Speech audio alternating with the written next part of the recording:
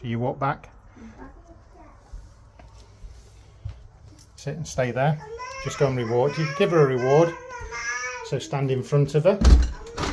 So block her. That's it. Well done. That's it. Well done. Keep doing that. Excellent. And just wait for her to sort of go back onto the bed. Sit and just wait.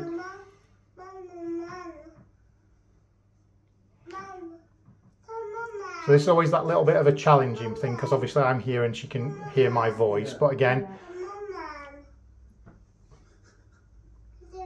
so she's focused on you. So she's obviously looking, so she's just trying to figure out what to do. So what we can do here is if you just get a piece of food and just lure onto the bed a little bit. So we're going to give her a little bit of a helping hand to bring her back onto the bed. Now just wait a second Okay. and now reward her for going back on. It's all right. And then just open yourself up, like I said, so she can now see me.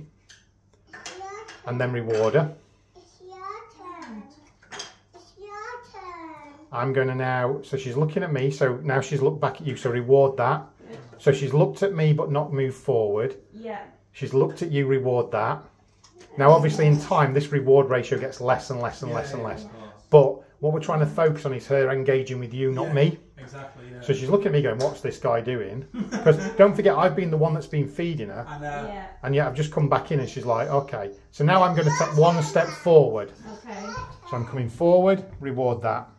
I know she's still looking at me, but I want to interrupt that early on so she learns that if I move forward, so if I move forward now, she looks at me, oh, and she almost immediately went back. And so what I want you to see is if you walk to the back of your kitchen, Do I get her to come with me? no, just just walk to the back of your kitchen Okay. And look what happens. yeah. And now I'm going to walk in, and now I'm in, Wow. and then I can, and then I can go, oh, Lila, come here. Yeah, that's so much calmer. Wow. So much calmer. Good girl. And then she can go back onto the bed. I can get some food, drop some on there. Now I know I've already been in the Yeah. house, but I have been the one that's been playing with her, Yeah. giving her food. Yeah. And you can see she wanted to come, so you just stood and you just kind of blocked her from coming, so you didn't have to, you know, use any harsh corrections or anything. Just waited for her, lit her back on the bed, start rewarding. How was that? That was brilliant. That was incredible. I'll Yeah. take that. Brilliant, incredible. I will take that all day long. It, it, it's like it's more just the focus she has on us, Yeah. on her, on Kate. Sorry, Yeah. it's like because I think